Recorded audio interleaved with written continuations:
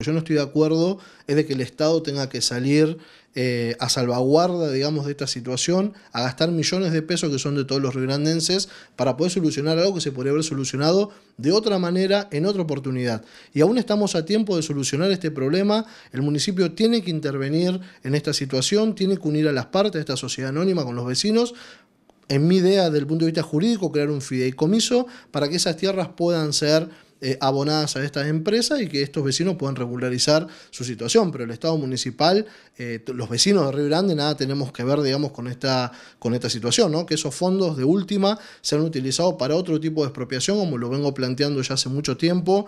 Eh, expropiar tierras improductivas que realmente tienen un valor muy bajo para generar entre 5.000 y 6.000 soluciones habitacionales a los riograndenses, pero no gastar tanta cantidad de dinero solamente para solucionar esta situación de 160 familias que se puede solucionar de otra manera.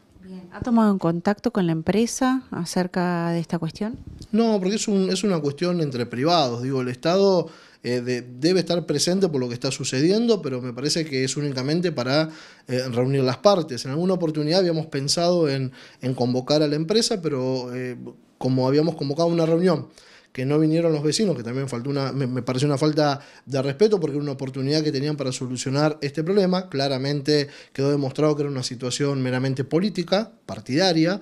El intendente Melella supuestamente le brindó alguna solución y iba a, a, juntar a las partes, tanto a los vecinos como a la empresa, para ver de qué manera esto se puede solucionar. La solución para, para quien les habla es generar un fideicomiso entre los vecinos, entre las empresas, entre la empresa quizá pueda participar el municipio de alguna manera y generar de que estos terrenos sean adquiridos por los vecinos de la misma manera que cualquier vecino adquiere un terreno en la ciudad.